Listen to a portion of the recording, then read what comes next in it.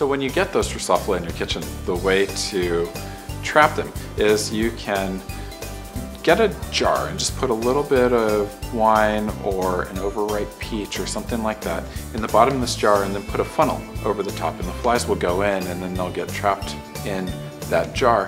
And then you can just take that whole trap and put it in the freezer for a couple of days. And then you can take it out even and reuse it.